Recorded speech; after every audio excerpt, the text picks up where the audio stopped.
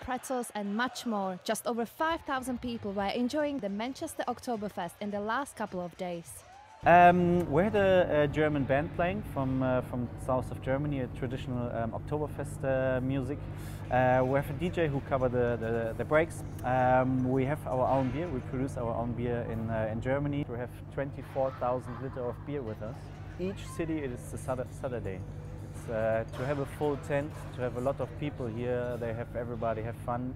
Uh, this is the best, best experience I can have. The Oktoberfest first launched 10 years ago in Copenhagen in Denmark. Now the UK is enjoying the fest since 2009. Oh, it's uh, fantastic, we're having a really good time.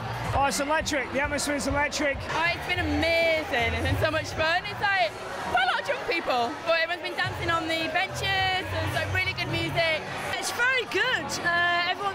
great time, a few beers, there's no fighting, everyone's happy and when you have the Spice Girls, you can't really go wrong.